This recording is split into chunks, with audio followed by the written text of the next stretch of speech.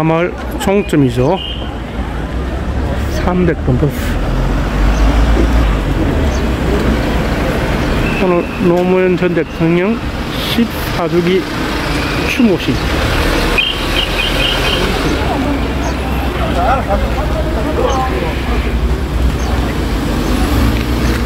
공화장터고요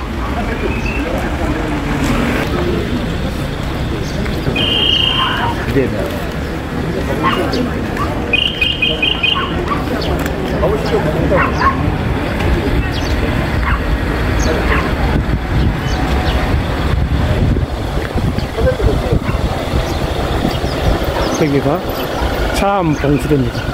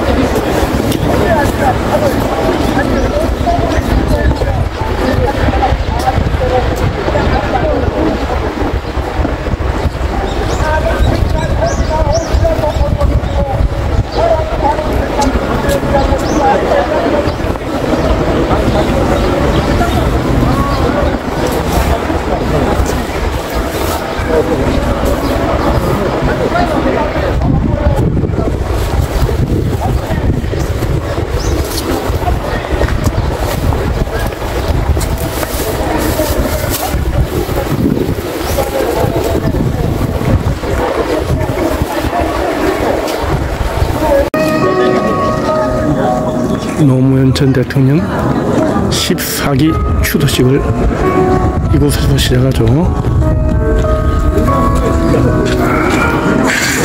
부엉이바입니다.